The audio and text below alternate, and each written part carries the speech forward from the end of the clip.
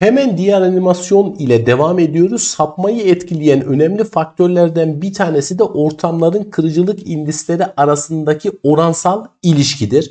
Zaten Sinel yasası da bu şekilde ifade eder bunu. Sinel yasasını da burada bir kez daha hatırlarız. Şimdi şöyle düşünelim. Dışarı ortamımız ne? Hava. Hava ortamından eşit açılarla bir suya bir de cama iki tane aynı renk ışın göndereceğim.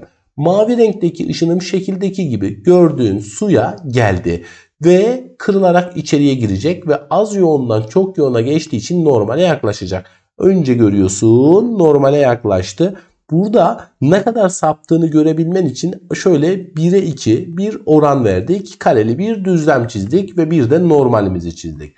Şimdi ışın bir miktar saptı ve niyet doğrultusundan sapma miktarını alfa 1 olarak ifade edelim.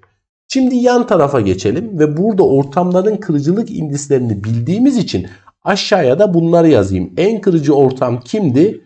Cam. Ardından ikinci sırayı kim alıyor? Tabii ki de su. Ardından üçüncü sırayı kim alıyor? En hava ortamı ifade ediyor. Peki şimdi cama aynı paralellikte bir ışın daha gönderdim.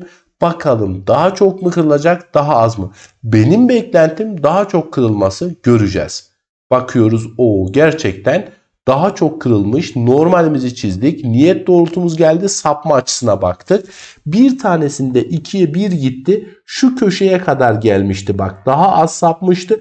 Burada ise daha fazla saptı. Bu niye gerçekleşti? E çünkü hemen ifademizi istersen ikinci özellik olarak buraya yazalım.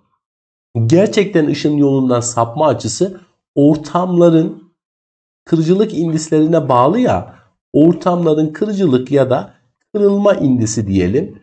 Kırılma indis oranına bağlıdır. İndis oranı ya da farkı da diyebilirsin ama oranı demen çok daha güzel olur.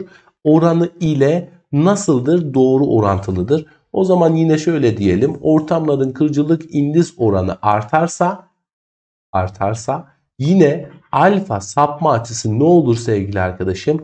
Artar. Bu da güzel noktalardan bir tanesi ve bu indisler oranını yani şu ifadeyi yazarken şunu da kullanırsan çok şahane olur.